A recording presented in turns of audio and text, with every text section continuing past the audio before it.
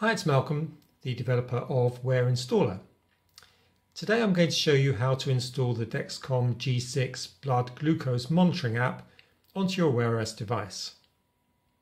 Unfortunately, the Dexcom G6 app isn't in the Wear OS Play Store, so you can't install it to your watch directly. But Wear Installer can help. Let's take a look. I'm assuming here that you already have the Dexcom G6 app installed on your Android phone. If you don't, I've provided the link below. So firstly, please install my Wear Installer app onto both your Android phone and your Wear OS watch from the Google Play Store. The link is below this video, or you can get it by visiting my Freepoc website, that's F-R-E-E-P-O-C. Now you'll need to make yourself a developer on your watch. I'll demonstrate on my Galaxy Watch 4 here. Go to Settings, About Watch, Software, Software Version, and tap until you see a message about developer options being enabled, which I've already done on this watch. The process to make yourself a developer is similar for older Wear OS watches. Just Google for details if you need to. So now let's go into developer options and tweak a few settings. So developer options. I recommend that you put your watch on the charger and select stay awake while charging as I've done here. It's not mandatory, but it does just keep your watch awake while we do the installation process. Now let's turn on ADB debugging. Yes, I'm sure. And also debug over Wi-Fi. Make sure your watch is within range of your Wi-Fi router. We now need to find the IP address of the watch and the easiest way to do that is to actually start Wear Installer and it will show you the IP address you need. And uh, there it is.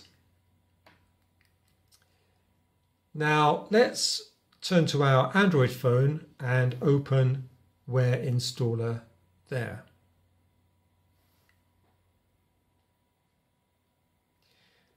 Now there's some description that explains what's going on, but the important thing is this section here where you need to put the IP address of your watch into the phone app and you'll see that I've already done it.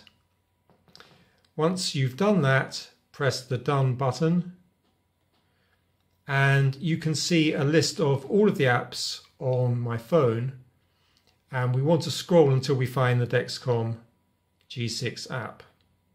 They're in alphabetical order so it's fairly easy. And there it is.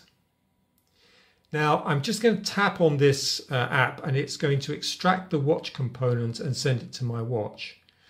It's important to allow up to five minutes for this transfer to take place. And it's going to happen faster in this video because I already did it a few minutes ago, so it's been cached. If necessary, just tap the phone screen to keep the phone screen to keep it awake until the transfer is finished. So I tap on the Dexcom app and already it sent it to the uh, to the watch. But as I say, it will take uh, longer when you do it for the first time. So now um, there's a prompt on the watch to allow a connection on the phone and let's select OK. And there's a message to say we are ready to install the, uh, the APK from the Dexcom G6 app. So tap install here and just wait a few seconds.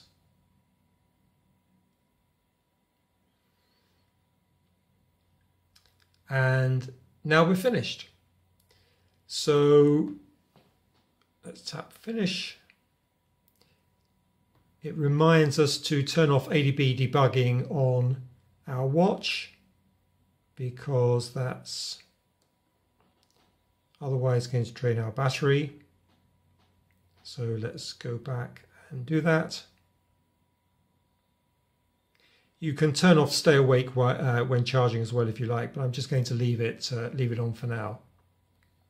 So I'll move my phone out of the way and the Dexcom G6 app is installed, but it appears as a watch face, not in the list of apps.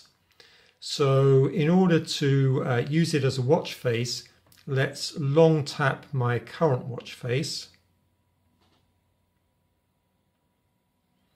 And here actually is the Dexcom watch face. And so I can tap to select it. I get a message saying uh, check on uh, check the app on my phone, which I've done, and uh, and there it is. We're all done. So I've had quite a few people ask me how to install the Dexcom G6 app onto their watches, and I hope this video has helped. Please note I have no association with Dexcom and I don't use the app myself. So for any other queries, please ask the Dexcom community. That's it for now. Thanks for watching and see you soon.